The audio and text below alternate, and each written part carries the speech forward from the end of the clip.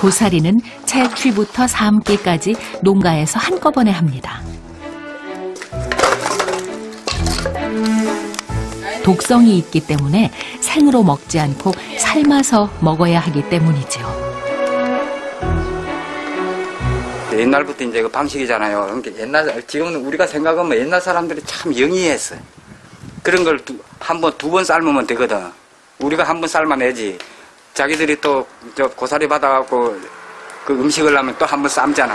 두 번 삶으면 독성이 제거가 된다래. 없, 없어진대.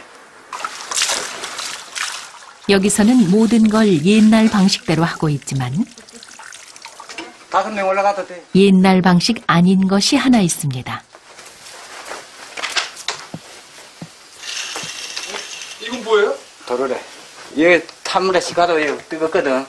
이 누워. 근데 이거를 들고 저리 올라가려면 몇 번 가야 되고 힘들어. 그래서 이렇게 설치를 해놓으니까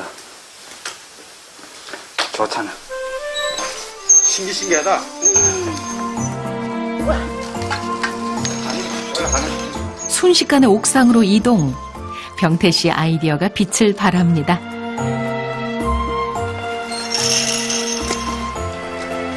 이제 바람과 햇살이 앉았다 하면 곧 부드럽고 쫄깃한 맛이 완성될 것입니다.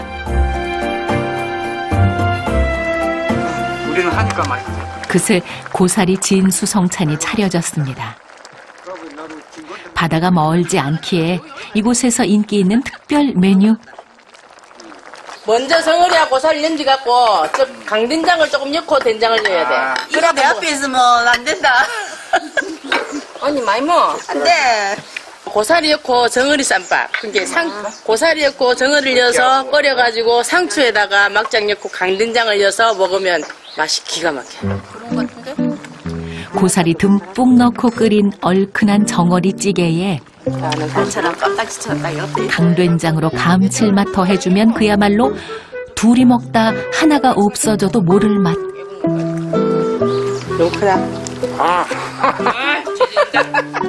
이 맛에 섬진강변에 살고 이 덕에 이 귀한 맛 보며 삽니다. 그러니까 이래 뜨거울 때 먹는 것이 습관이 안 돼갖고 아침 저녁으로 일하면 문을 열면은 나가 기농 10년 차인데 공기가 틀려요.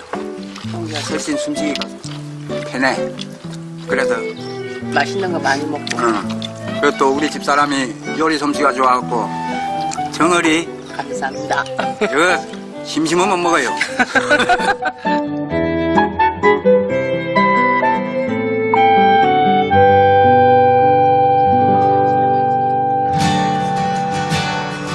강의 넉넉한 인심은 예나 지금이나 달라진 게 없습니다.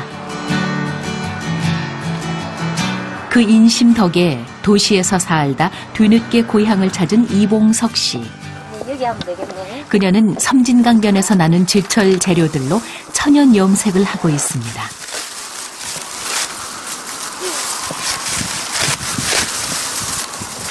이걸 가지고 옛날 사람들은 우리가 쌀을 일때 쓰는 조리를 만들었다고 해서 조리대라고 하는데 이 잎을 채취해서 하면 연두색을 낼 수 있는 연두가 될 수 있어요.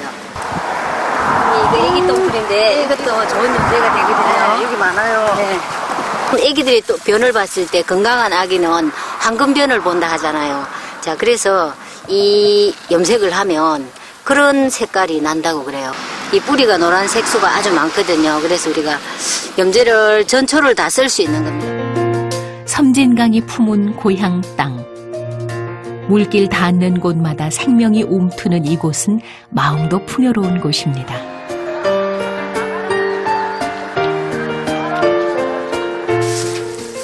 염료를 만들기 위해 채취한 조리대 잎을 푹 삶아줍니다. 이때 특이한 도구가 등장하는데 바로 대나무 장대. 이게 높이 떠올라요. 물이 들어가면. 그래서 그게 떠오르지 못하게 이렇게 눌러주는 역할을 하는 겁니다. 이게 그리고 끓으면 계속 넘게 되거든요. 그걸 넘지 못하게 하는 어, 원리로 옛날 어르신들이 이렇게 하셨다 하더라고요.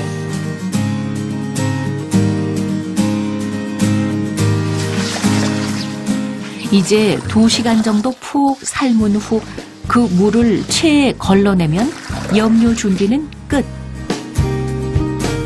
30분 정도 조물조물 해가면서 자연의 빛깔을 담아냅니다.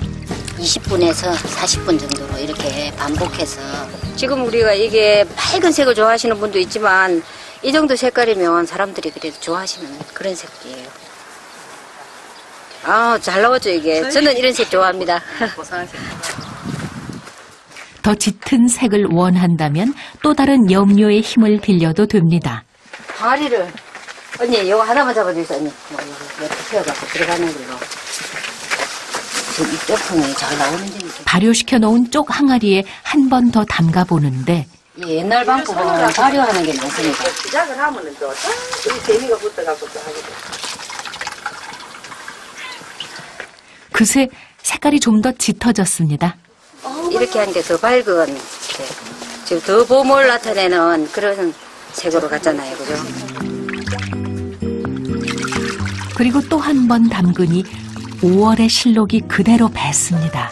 더 짙은 색으로 가고 싶으면 파란색을 계속 반복을 하다 보면 예, 짙은 색으로 갈 수가 있습니다 염료가 색을 품듯 수많은 생명을 품어온 섬진강.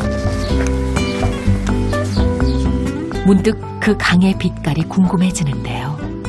강은 우리 하늘 빛깔에 따라서 달라지지 않을까요? 저는 바다도 그렇다고 생각하거든요. 하늘이 맑은 날은 바닷물이 푸르고 뭐 흐린 날은 회색이고 강도 그런 빛깔 아닐까요? 반짝반짝 빛이 나는 날은 정말 하얗게 보석같이 빛이 나고 그러지 않을까요? 그렇습니다. 강의 빛깔은 때때로 변할 수 있습니다. 하지만 우리가 알아야 할 중요한 사실은 강을 아끼는 사람의 마음이 강을 더 빛나게 한다는 것입니다.